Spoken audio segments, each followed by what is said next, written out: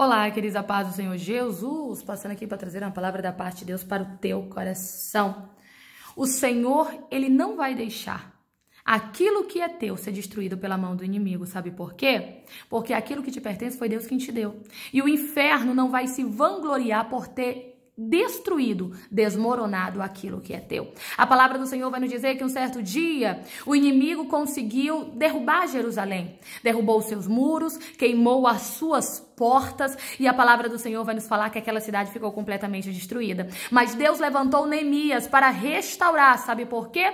Porque aquela cidade era de Deus e Deus não ia deixar o inimigo sair batendo no peito dizendo era de Deus, mas eu destruí. Era de Deus, mas eu derrubei. Era de Deus, mas eu desmoronei. Deus não iria permitir que a história de Jerusalém ficasse marcada com aquela derrota. E sabe o que é que aconteceu? Uma obra de restauração e conserto começou. Eu quero profetizar em nome de Jesus. Eu não sei o que o inimigo tentou desmoronar na tua vida. Eu não sei o que o inimigo tentou destruir aí na tua história. Para sair falando, era de Deus, mas eu acabei. Era de Deus, mas eu destruí. Era de Deus, mas eu derrotei. E Deus está falando para você que essa história não vai ser marcada por esta derrota. Não.